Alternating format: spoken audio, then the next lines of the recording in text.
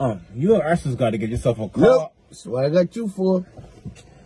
Listen, they can't be taking you around everywhere. I'm gonna go back work. I'm gonna drop the car off to the wife. Gonna pick up the bike. Then I'm gonna take you where you gotta go. I'm gonna finish painting this house. Look, you got your helmet? Never leave her about it. All right. Well, we guys head to the house.